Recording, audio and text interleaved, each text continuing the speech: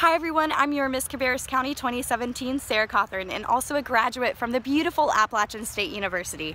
I am so excited to be able to compete in the 80th Miss North Carolina Scholarship Pageant. And if I'm chosen to be your Miss North Carolina 2017, I plan to promote my platform of volunteerism throughout our state.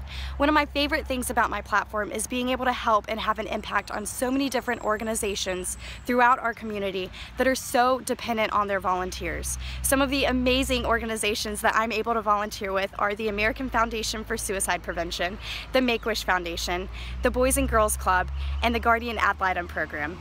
And there's actually this quote that perfectly explains why I choose to be a servant leader.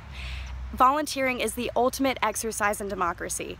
You vote in elections once a year, but when you volunteer, you vote every single day about the type of community that you want to live in.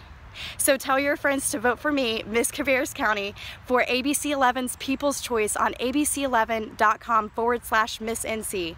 And don't forget to tune in on June 24th at 7 p.m. to watch the 2017 Miss North Carolina Scholarship Pageant live on ABC 11.